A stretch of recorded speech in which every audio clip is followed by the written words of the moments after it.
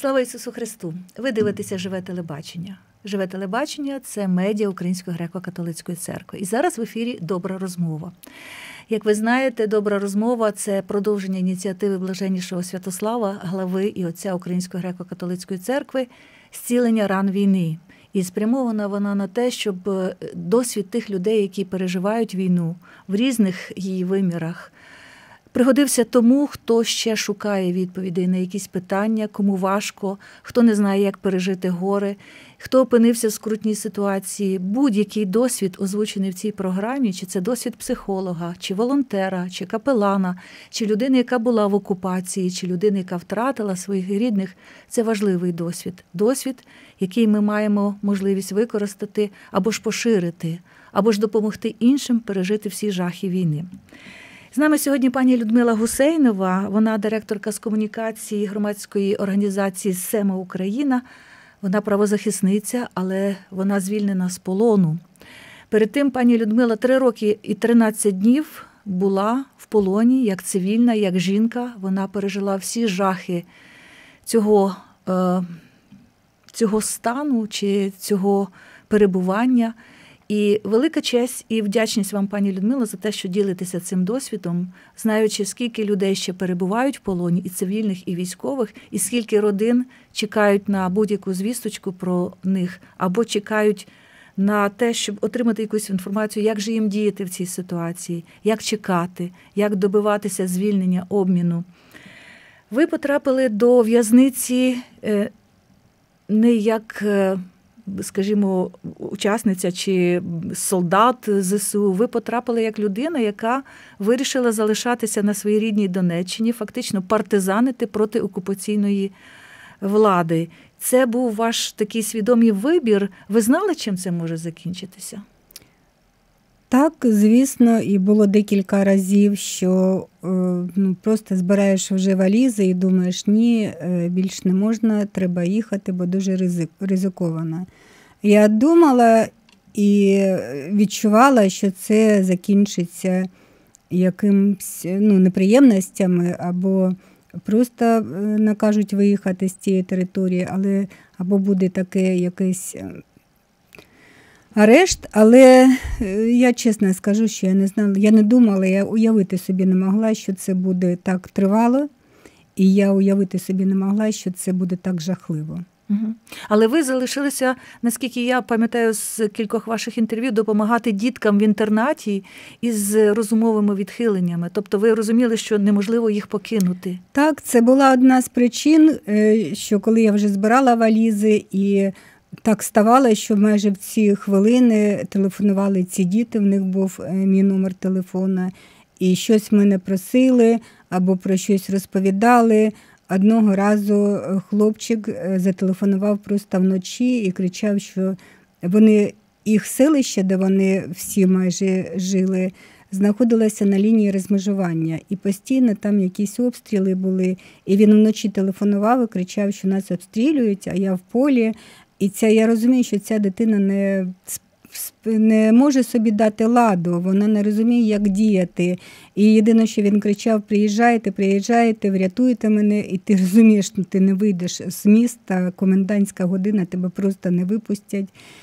Але ця відповідальність я порадила йому дуже швидко біжати до школи, там є підвальне приміщення і якось сховатися. Але оця відповідальність, що вони телефонують, коли нема що їсти, коли нема взуття, або просто хочеться якийсь смаколиків. Оця відповідальність вона тримала там. І ви залишилися там, і потім ще й почали допомагати військовим. Наскільки я розумію, теж я багато ваших інтерв'ю продивилася, прочитала. І після одної ті такої поїздки е, до військових чи назад ви повернулися з прапором. Так, мені передав е, цей прапор, передала волонтерка Маріупольська Софія, і я їй дуже вдячна. І завжди, коли я виїжджала е, на вільну територію України через ці блокпости в Маріуполь, я завжди намагалась щось передати для цих хлопців, і для мене було дуже важливо, чому я це робила. Для мене було дуже важливо, щоб хлопці знали. там, на окупованій території, є люди, котрі їх чекають. Маріуполь ще тоді був Маріуполь тоді був, ще був не, не окупований. Це було до повномасштабної до війни. повномасштабного вторгнення. Е, Цей прапор став. Так би мовити, вашим вироком на тій окупованій території окупанти вже більше не могли терпіти вашої проукраїнської позиції, я так розумію. Як це було? Е, я зробила, мабуть, помилку, бо я сфотографувала цей прапор. Дійсно, я його не виставляла в ніякі мережі, але друзям розіслала і. Для мене була така нагорода цей прапор, бо там написано були побажання від батальйону Львів, і було написано патріотам Новоазовська. Новоазовськ – це маленьке містечко, де пані Людмила жила, працювала мирним, здається, інженером з техніки безпеки праці, так, так. охорони праці. Так, так. І для мене це було таке дуже важливо, що він я змогла його провести на окуповану територію. Це мені таку силу давало впевненість, що це територія України. І десь це фото одно так е, фото сплив. Я дуже ретельно сховала цей прапор. Він досі схований, вони під час обшуку його не знайшли. Він в Новоазовську Він в Новоазовську схован дуже. Я мрію туди поїхати, я мрію достати той прапор. І там разом з прапором ще декілька книжок, котрі військові хлопці писали е, в 17-му році, в 16-му році, в 18-му, і вони підписували ці книжки, і я їх також зберегла. Чи може цей досвід бути зараз підказкою всім, хто ще залишається на окупованій території Донбасу, але мріє про українську перемогу не робити такого? Ви знаєте, так. Так. Не розсилати фотографії навіть Не розсилати найближчим. фотографії, але я знаю, що такі люди є. Я знаю, що такі люди мають е, деякі сім'ї мають маленьких дітей, котрих е, російська пропаганда налаштовує проти України в школах або в дитячих садках. Але ці люди роблять безцінну річ. Вони зберігають в серцях і розумі цих дітей любов до України. Це дуже важко, це дуже ризиковано. Це дуже нелегко і дітям розуміти, що там брехня, а вдома правда. Але треба цю правду поки що приховувати. Угу. Але такі точно люди є. Отже, цей прапор е, був тим тригером, на який вже відреагували окупанти. Вони вас арештували. Я чула ваші розповіді про перебування і в СІЗО Донецькому, і в катівні ізоляція. Е, яка утворилася із арт-центру сучасного. І я знаю, що жінки там цивільні, навіть не військові, перебувають в жахливих умовах. Я не знаю, чи ви можете хоча б коротко це якось все-таки нашим слухачам нагадати. Знаєте, чому я кажу? Я от бачила останні опитування КМІСу Київського міського інституту соціології, і там дуже великий відсоток людей, які зараз в час повномасштабної війни виїхали з України, як з'ясувалося, перебуваючи в Польщі, Франції, Німеччині, не цікавляться новинами в Україні. Чи можете ви хоча б їм в такий спосіб нагадати, в яких умовах іноді перебувають люди в Україні, ті, хто залишилися українцями за будь-яких обставин. Ви знаєте, я також зустрічалася тут, в Києві. Е, Дехто це дуже поодинокі випадки, але вони є, коли людина каже, я не хочу про це навіть чути, бо це страшно. І я потім не маю спокою, і можна зрозуміти цю людину. Але я буду говорити про це не тому що я саме це пережила і е, тут пожалійте мене, ні. А тому, що ці жінки, сотні жінок, вони там в полоні залишилися, і вони переживають от саме зараз ті самі жахіття, ті самі знущання. Я чула про ізоляцію ще до арешту, тоді був звільнений Асіїв, і він там щось писав. Нагадаємо, Станіслав Асієв це людина, яка передавала інформацію з окупованих територій сюди. Він спрацював з Радіо Свобода і таки також був заарештований і е, поміщений в цю ізоляцію. Так, і після він дуже багато інформації давав. Але ти читаєш і не уявляєш, що з тобою може таке статися, або навіть страшніше щось, бо ти жінка. на ізоляції охоронці виключно чоловіки. І те, що прийомка приниження постійне. Ти постійно знаходишся з мішки на голові. Ти закован ці кайданки. І тебе можуть роздягати і роздягають, і торкаються, і ти навіть не бачиш, чиї руки тебе зараз до тебе зараз е, торкаються.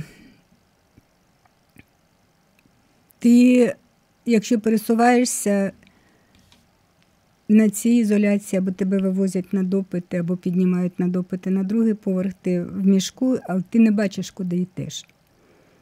І нема на взутті шнурків, воно падає з тебе, ти падаєш сама. І це веселить інколи вони навмисно тебе шпинають, щоб ти впала, тому що тоді вони тебе починають бити ногами, добинками, швиряють. І на другому поверсі там була облаштована казарма для бойовиків. Ну, Тобто, уявіть, що на першому поверсі заручники, полонені, а на другому поверсі бойовики, котрі приїжджають після бойових завдань.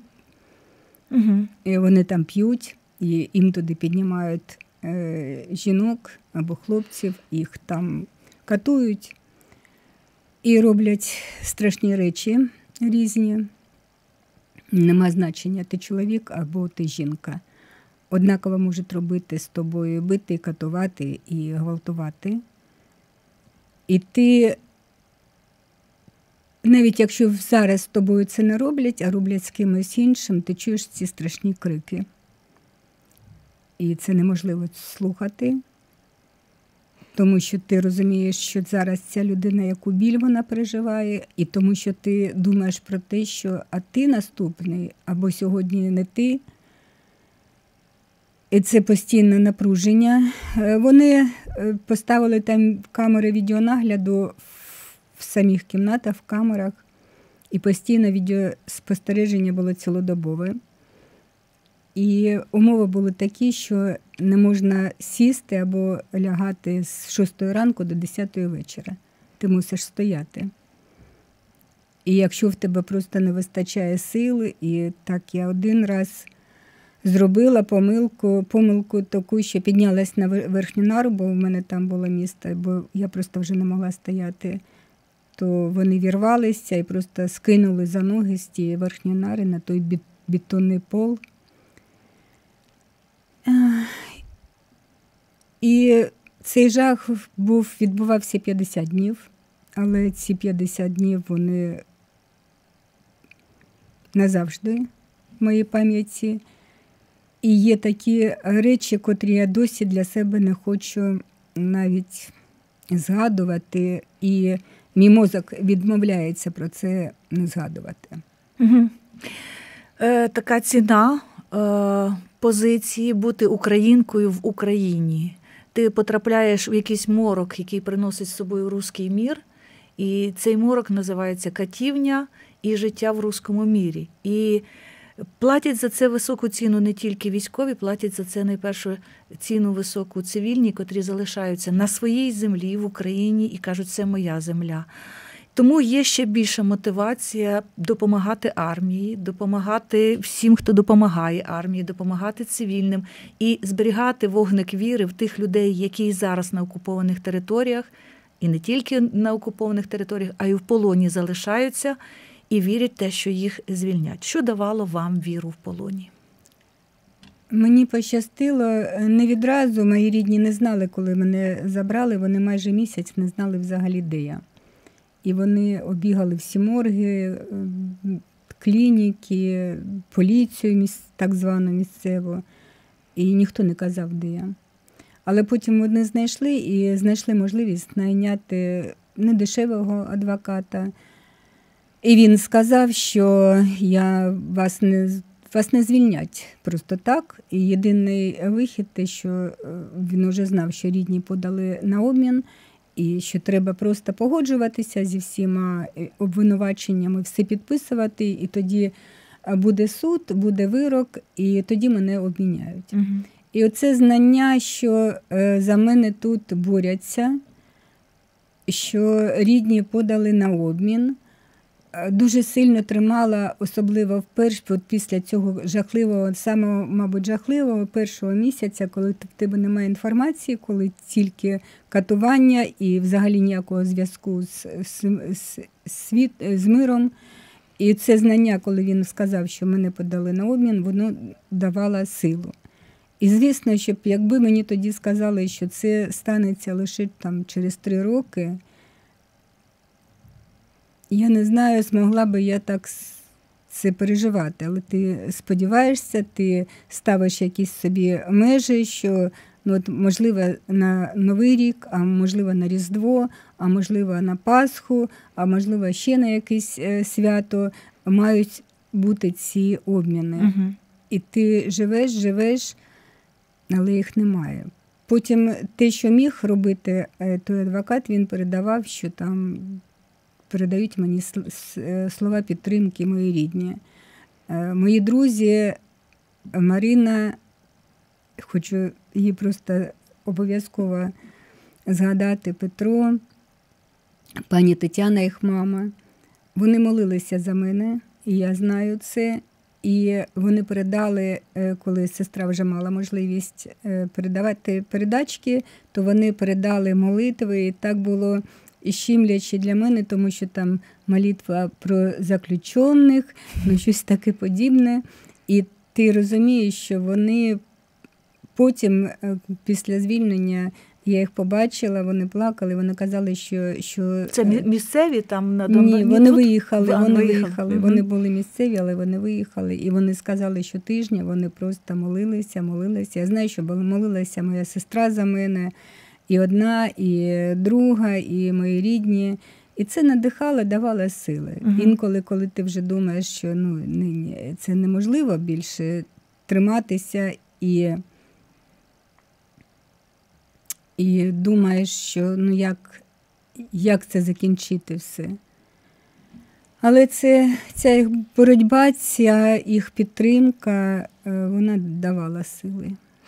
А як змінилася ситуація у в'язниці, коли почалася повномасштабна війна? Адже вас е, арештували ще до повномасштабної, а звільнили вже під час повномасштабної. Чи щось у настроях окупантів змінилося? Чи так. ви відчули це? На той час мене вже перевели в СІЗО номер 5 і це було ще в е, грудні 19-го року, в листопаді 19-го року.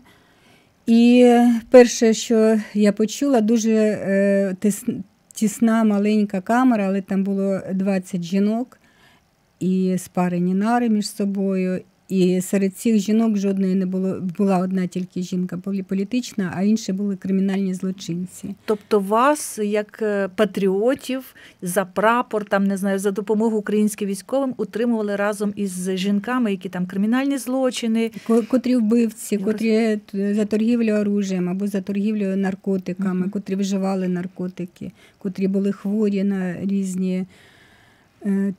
Е, небезпечні угу. захворювання. Так, і вони ідентифікували, бо багато з них або самі служили в, на, на стороні Росії, або їх рідні були бойовиками. І відношення таке було відразу, що е, укропка.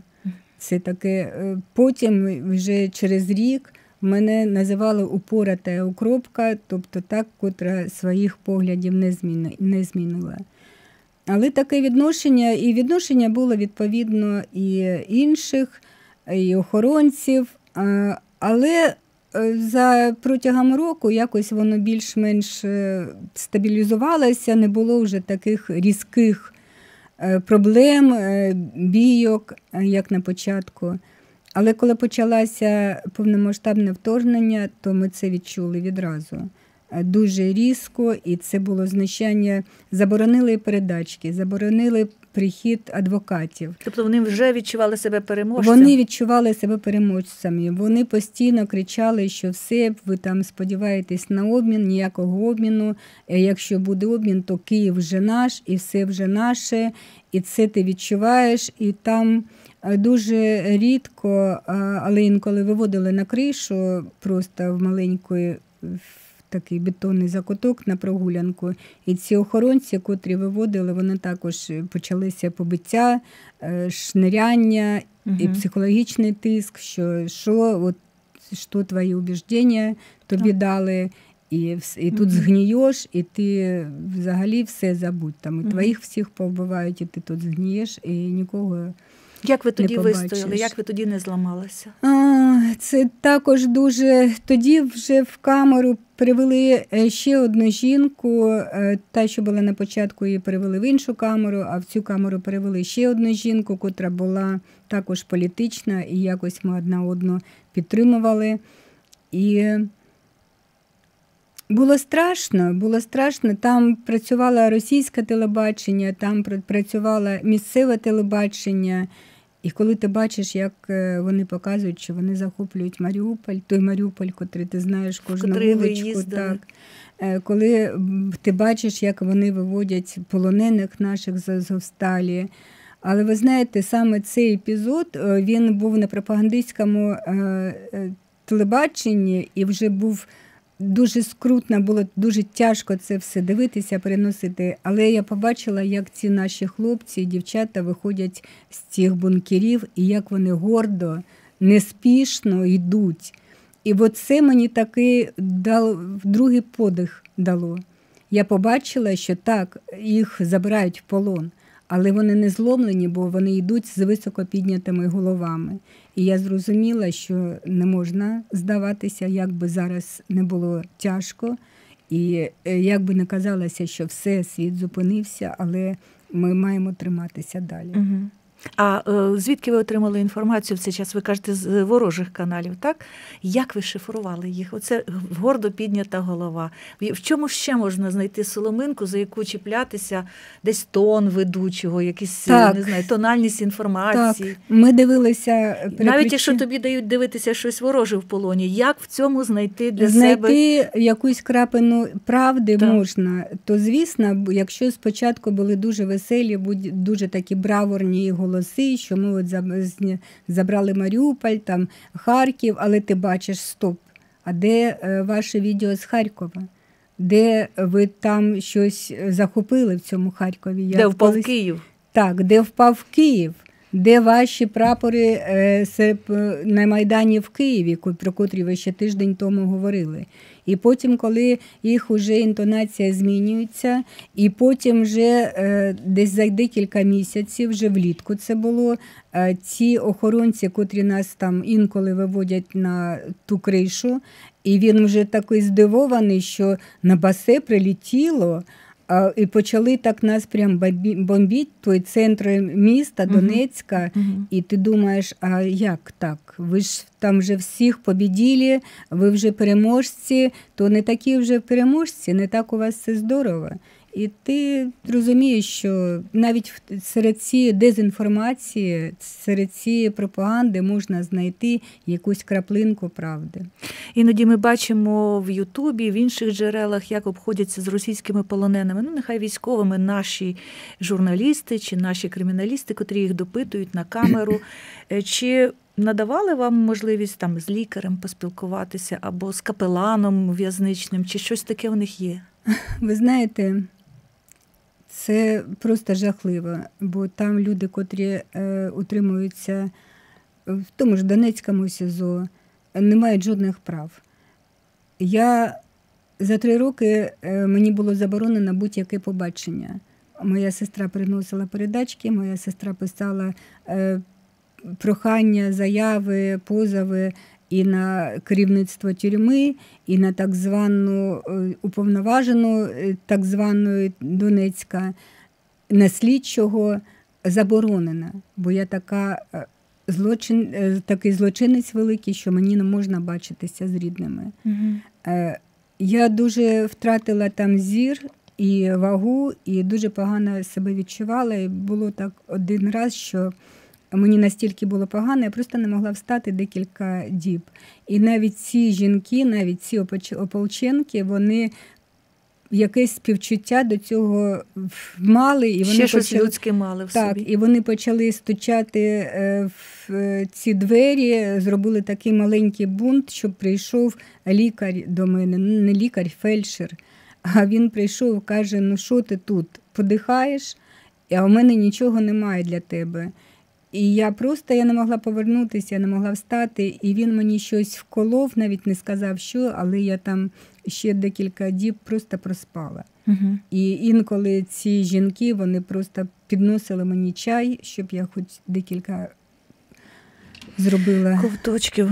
Що стосовно молебляне, є там на території е, Донецької, Донецького СІЗО молебляна кімната, вони її так називають, але щоб туди попасти, щоб тебе туди вивели, треба написати е, заяву на ім'я зама по тюрмі. Я навіть пам'ятаю це це прізвище пан Колєснік. Прославимо його, пан Колєснік, заступник е, начальника тюрми Донецької. І це не факт, що ти напишеш. Треба писати було в, в понеділок, щоб тебе в неділю, можливо, виведуть. Але за три роки такі е, виводи були, виходи були два рази. І треба розуміти, що виводять не окремо тебе, а виводять е, всіх, хто побажає, а більшість бажає просто для того, щоб мати можливість вийти, пройтися, е, когось побачити угу. з іншої камери. Я маю на увазі е, кримінальних злочинців. І коли ти заходиш, ну дуже тісна кімнатка. А вони можуть там палити, вони можуть там лаятися, вони можуть там затіяти кімнаті. Прямо так? там, да. То ти ну, не можеш на це не реагувати, тому що це тебе чіпляє не просто словом, а й фізично. Ну, навіть якби тебе було бажання туди ходити постійно, то такого не, було дозволено. І на завершення цієї частини нашої розмови, а я одразу анонсую, що буде ще одна програма з пані Людмилою Гусейновою. Але у цій на завершення часу я хочу вас спитати: ви вийшли із цієї катівні, з цього мороку завдяки нагороді, яка, як з'ясувалося, знайшла вас там в тюрмі. Ви про неї не знали. Ви були нагороджені тут, в Україні. Як це сталося? Як ви повернулися в Україну і що найперше ви зробили? Я дійсно про це не знала, і для мене було дуже несподівано, коли наприкінці 21-го року, вже в грудні, вже майже почина, починалися свята. А ми знали там в тюрмі, що якщо от е, грудень місяць, січень місяць, ну взагалі ніяких дій, не слідчих, не судів не буває взагалі. Вони всі там або готуються до свята, або вже продовжують до свята святкувати. І дуже несподівано приїхали е, до мене забрати на допити. І дуже лаявся цей е, слідчий всю дорогу. і Я не могла зрозуміти, що сталося. І він е, згадував моїх подруг, котрих я також побачу на етапах, котрих так, також вони заарештують, прийде час. І я не знала, що страх, але вони почали терміново закривати цю справу, котру два роки практично і не вели. Е, вони примушували мене все щось під, підписувати, все, і вони сказали, що в них є наказ е, передати мою справу до суду. І потім, вже, коли я побачила адвоката, і він сказав, що була така нагорода. І, ну, можливо, Як нагорода це, називається? Е, це е, національна премія за особистий внесок в захист прав людини за 21 рік. Про це дбали ваші знайомі, друзі, хто всі, хто знав, що ви в полоні тут? Е, про це дбали мої друзі, знайомі, котрі разом зі мною допомагали цим дітям, збирали речі, передавали їм книжки українські. Цим дітям, про яких ми на початку так. згадували. І вони саме ця допомога допомога стала привідом для цього нагородження. Що ви найперше зробили, коли опинилися на підконтрольній Україні українській землі? Ви знаєте, мені важко навіть це проаналізувати, бо у нас дуже важкий дводобовий був цей шлях до звільнення. Нас е, вивозили, повертали, нас е, обіцяли розстріляти. Нас ми потім ночували на е, аеродромі військовому в Таганрогі, е, в ці просто автівки серед ночі. Ми постійно були ці дві доби з зав'язаними скотчем е, очами і руками, і ти вже не розумієш, що відбувається, ти не розумієш, що це обмін або щось подібне. Але перше відчуття після цього ще дводобового пекла. І нам, коли сказали, що вам треба рухатися і пройти ту якийсь сірий відрізок, у мене було дуже дивне перше відчуття. По-перше, те, що я йду землею. Я за три роки вперше йшла землею, і я а не бетонною підлогою. Е, взагалі я йшла б, тому що там рухатися нема було де. Там, якщо мене виводили на е, верх в ту бетонну кімнату, то там по діагоналі, якщо ти одна гуляєш, і це дуже було рідко, може раз на півроку так і траплялося, що там по діагоналі можна рухатися сім шагів в одну сторону і сім в іншу. Раз на півроку і дуже короткий термін 15-20 хвилин, можливо, півгодини інколи. І твоє відчуття, що ти йдеш. І ти йдеш, йдеш і не відчуваєш себе, відчуття, що ти бачиш небо вперше за три роки. Ти його просто можеш підняти голову, ти його бачиш. І відчуття, що ти дихаєш повітрям, тому що в камері всі цілодобово палили, і там був смород від цієї дирки в полі, там не було вентиляції, жодної не було свіжого повітря. І я настільки привикла дихати поверхньо, не вдихаючи все це. І я боялася просто вдохнути, тому що просто кружилася від цього голова. Е, якщо б завершити цю розмову у цій програмі, дивне питання. Чи ви шкодуєте про той прапор, який тоді став е, таким тригером для окупантів? Ви знаєте, жодного разу ні. Для мене це найвища нагорода в моєму житті. І, ну, мабуть, така була в мене життєва задача, бо я хотіла хлопцям, котрі нас захищають, показати, що на окупованій території їх чекають, це не дарма.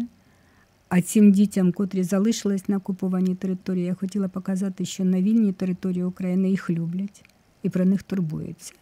От Для мене ці дві задачі вони виконані в якомусь там